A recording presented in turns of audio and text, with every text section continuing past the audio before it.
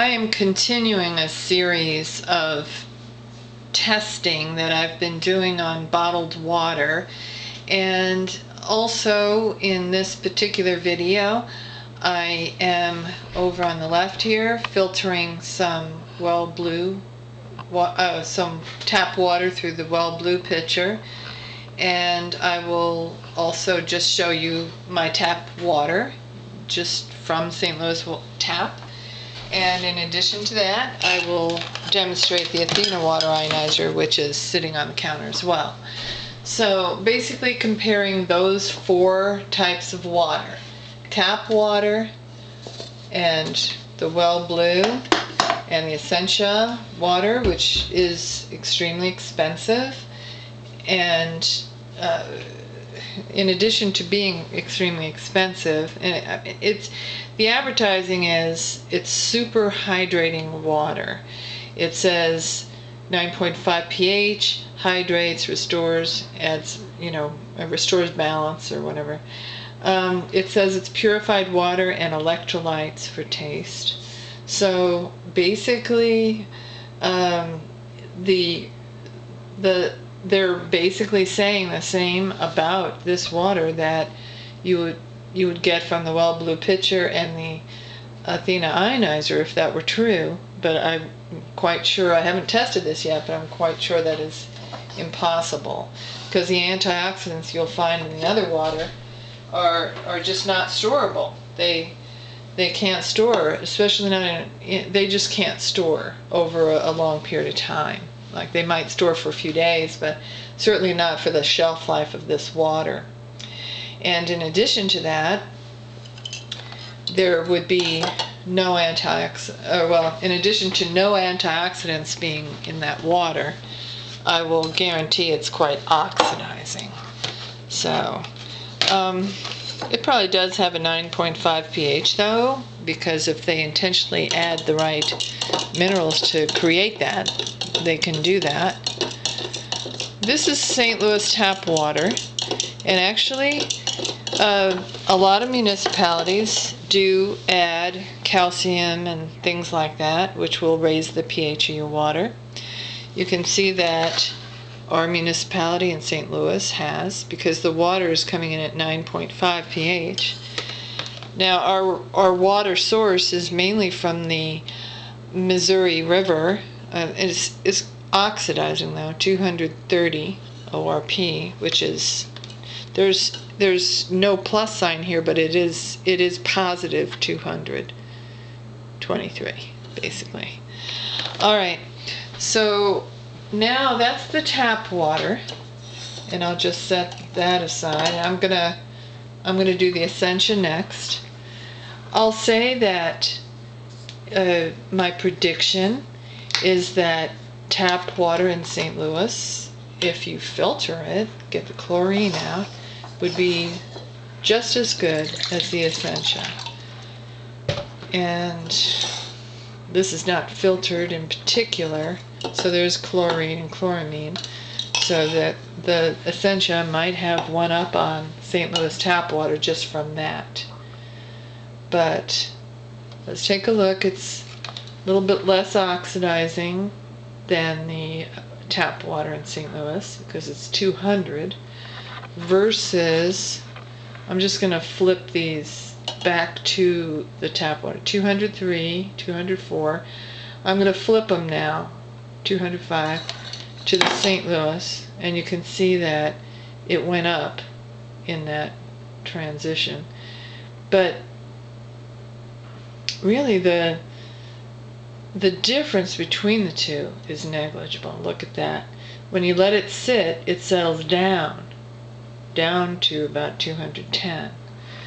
Now, in the Essentia water, when you let it sit, it goes up. It's kind of odd. But um, I'm going to imagine that it goes right on up to about the same number. We're so close. There's 200. 201, 202. So I'm going to guess that it's going to go up to very close to the same number. And so it's oxidizing. That's not too bad. Now the pH is higher on this water. It's 10.2. And I certainly would not spend $2 a bottle for Essentia water unless you were going on a, you know, somewhere uh, you were you were in another country or you, you had you just had no access to any potable water whatsoever. All right, that ne- the next thing I'm going to do, this water has been filtering now. Doesn't quite look done, but I'm going to go ahead and remove the the filter that's that's still dripping. I'm just going to remove that and test this water next. Because I want to go in order from what, I think is from worst to to best of what I think I would want to drink. All right, so this is water from the tap that started out just like the last water we tested from the tap. And here we go, it's 10.4 pH. So it went up pretty nicely. And but here's what's interesting. That is a minus sign. That means that it is antioxidant rich in this water. Instead of being oxidizing, it does the opposite. It helps to fight free radicals by drinking this water. That's quite a big thing to have like a negative 409 ORP. Now, this pH has settled a little bit and it went to a 10.5, so I'll just show you that. All right, the last thing I said I was going to test was the water from the ionizer. And the ionizer, instead of taking a half hour to filter about two liters of water, the ionizer would give me that same amount of water in about a minute.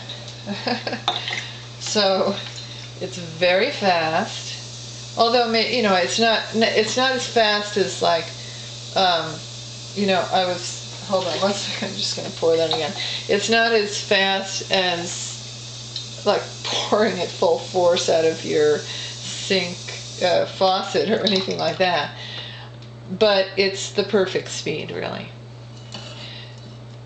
all right so now instantaneous waters water didn't take any time to pour.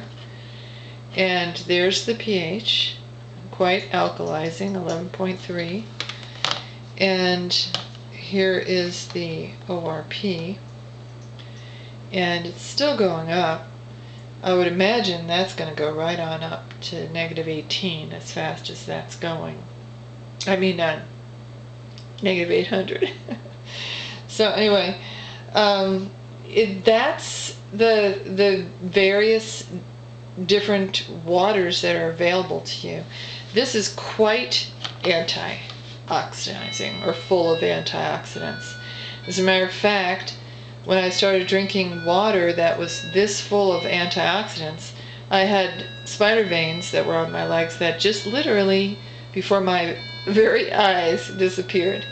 And so there is something to say about antioxidants and your body and your blood vessels and all the cells in your body to have a continuous source of antioxidants, which, you know, I drink water, I sip it all day long. And instead of just relying on a pill in the morning, a vitamin C or whatever, or in the evening, um, to have antioxidants all day long makes a, a huge difference for your body.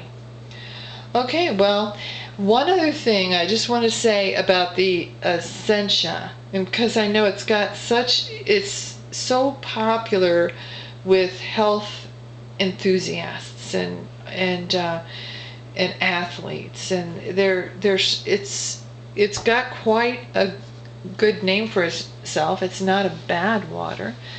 But th- one other thing, a true objection I have to all bottled water is this is a plastic that is made basically from uh, oil and chem- uh, crude oil and chemicals and whatnot to make these plastics. And the whatever is uh, leaching into the water during the entire shelf life of that bottle is a lot of it is not even known.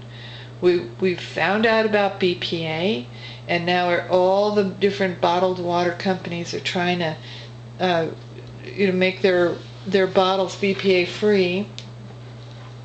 Although this one is not BPA free, so you normally, oh no, I'm sorry, it is BPA free.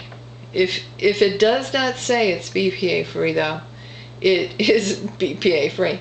But just because it says BPA free, it does not mean that it has not been leaching during the entire shelf life of sitting on that shelf for months or whatever. It's been leaching things from the plastic. And I really highly object to that. All right, well, that's uh, food for thought. And just one more test in my series of tests on bo- bottled water. Thank you.